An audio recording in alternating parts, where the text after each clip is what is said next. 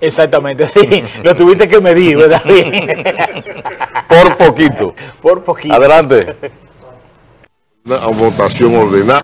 Eso, ¿cómo ve usted la, la, la gente, la afluencia de gente? ¿Cómo siente usted la, la Junta, la confianza en la Junta sobre todo?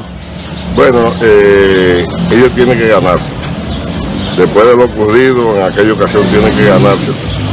Eh, yo quiero aprovechar la oportunidad para decir que lamento mucho la actitud del gobierno, la rueda de prensa que hizo el gobierno la noche de ayer, que no fue, no tuvo otro objetivo que no fuera eh, alarmar a la población. Eh, yo creo que no era el momento para que eh, se tocara el tema de, de la enfermedad que todos estamos trabajando para prevenirla, todos estamos comprometidos en que las cosas se hagan bien. Pero yo creo que fue una actitud premeditada, el responsable, el presidente de la República, Danilo Medina, que va a propiciar una atención inducida, inducida.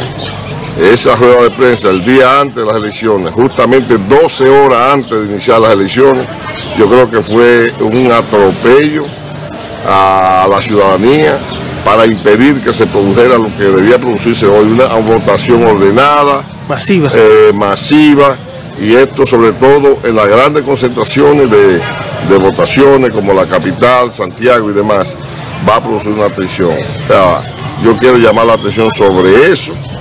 Y si uno había tomado un poquito de confianza, nuevamente la actuación del gobierno eh, ha puesto en duda. Eso es una atención inducida y esa atención inducida nada más favorece a- al gobierno. Responsable, Danilo Medina. Él es médico y está en contra de, de las medidas que se anunciaron para enfrentar el asunto del coronavirus. Eso es el- la teoría Él creía en la- en la del asigunismo, del asigunismo político. Él creía Esto en la es Junta. asigún. Esto es asigún.